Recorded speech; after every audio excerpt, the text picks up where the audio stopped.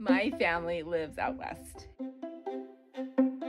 And we go out nearly every year to visit, to have family reunions and holidays, things like that together. And um, we usually fly, but we have always wanted to do a big cross country trip with the kids. We had thought it might always be fun to do uh, a road trip out west and to see and you know as much stuff as we could see along the way.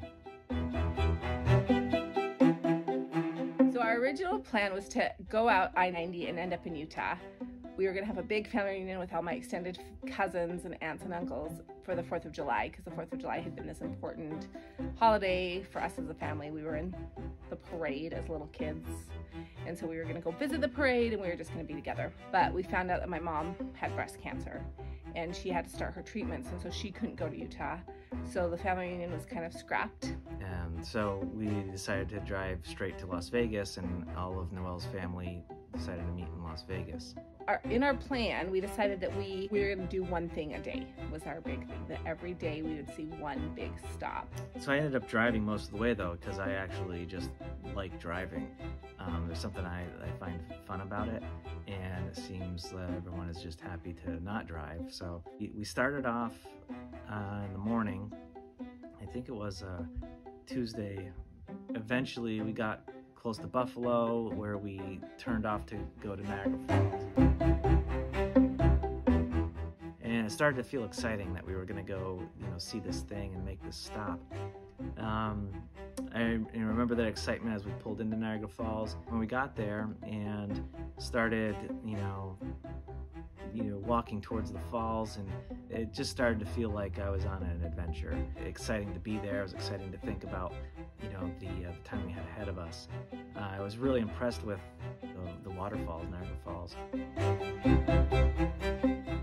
Um, seeing that, I remember on one hand, just you know, looking at all the scenery and seeing how beautiful it was, and then on the other hand, just looking at um, the massive amount of water that was just you know falling over the edges. It was kind of unbelievable. We made our way to a, little, a place outside of Chicago. Plan was to go into Chicago that morning and um, see you know see Chicago, and, and that was also you know people had said you know don't even bother because the traffic's so bad.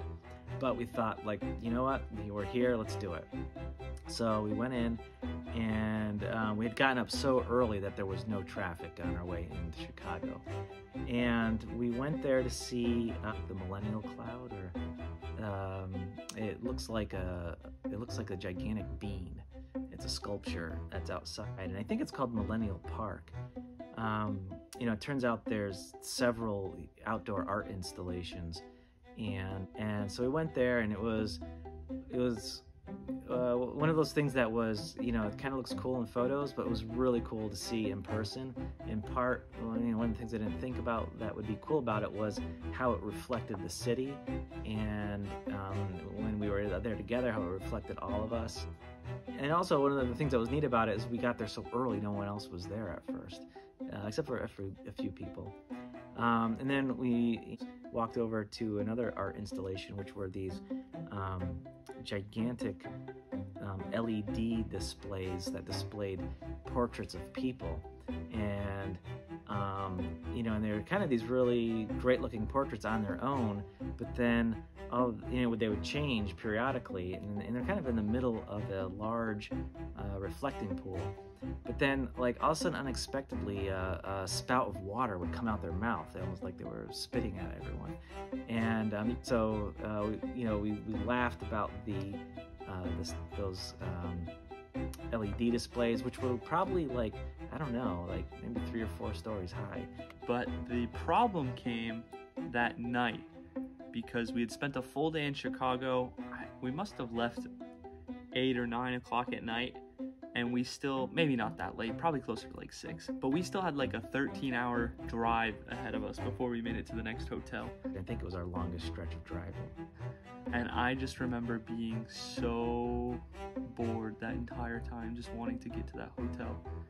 But it's funny because those are the, the moments I was most bored or, or tired or kind of the ones I look back on most fond. We went to the Rocky Mountain National Park in Colorado.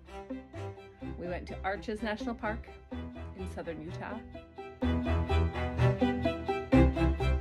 And then we ended up in Las Vegas. So when we're in Las Vegas, um, my whole family, I'm, I'm one of six children. And so all of my brothers and sisters were there with their spouses and their children. And because of the cancer, it was a little bit maybe different than most of our family reunions would be. We, um, my brother plays with the Las Vegas Philharmonic, and they were doing a concert, like an outdoor concert with fireworks, and so we went to that. That was very fun on the Fourth of July. I remember kind of feeling like I never really got to catch up on my sleep. We had a family picture taken. We went bowling, just um, little activities with all of us together. We were there for about five days, and it was a really nice break because we didn't have to constantly be in the car. So when after we left Las Vegas, we were decided to take a southern route because we needed to end up in Virginia because two of our children were going to go to a camp there. One of the things that is good about my family being out west is that we had already seen a lot of things, so we'd already been to Yellowstone and we'd already been to the Grand Canyon, so we didn't see those things. We went to our first uh, stop on our way home, which was um, uh, I can't remember the name of the town, but it was outside of the Petrified Forest in Arizona. From there, we decided to go through New Mexico. Uh, I think we went along 40, went north to Santa Fe, further north to Taos, and um, on our way to Taos, I remember just some really fascinating scenery. I think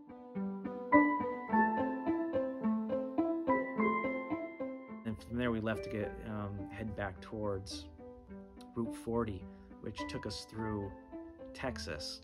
Um, and in Texas, we stopped at a place called Cadillac Ranch, which is some old rich guy. Um, I don't remember. I think back in the '60s, who was kind of eccentric, and um, he, on his land, he uh, I don't remember how many, but he buried several Cadillacs in the ground um, vertically, and they they kind of stuck out of the ground. You can go and spray paint on them, so we spray painted the Cadillac Ranch. Yes, from there we drove, and I think we stopped at um, the Oklahoma City uh, bombing uh, memorial, and we, we, checked that out. Um, uh, when was that? Like in 1990. Uh, I think it was like 1994 four or 5, 1995, I think, uh, the bombing took place. And, and, it was really interesting to just kind of feel the, um, the sense of dedication people had to what happened there and memorializing it and memorializing the, the lives of the people there. But from there, um, let's see, I think our next stop from there was um, Virginia.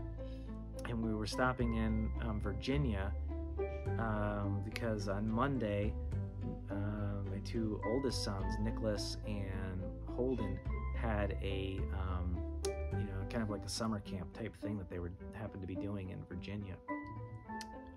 When when we finally made it to the end, um, you know, we got dropped off in Virginia. We were spending a week there. Uh, I just remember being really happy that we uh, wouldn't have to drive anymore. That we finally could have some days of just uh, walking instead of driving forever.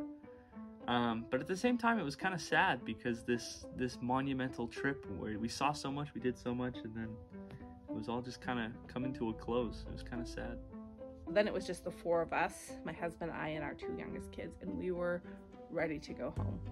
And so we just drove straight home from Virginia that day and we were done traveling. And thinking how weird it was that we were home after that long trip and um, pretty excited that uh, we had done it. We had gone 6,557.1 miles. We had been driven through 21 states. We had stayed in over seven hotel rooms and we had just really pushed ourselves. And, you know, pretty sad that was over. And uh, I was going to go back to work the next day.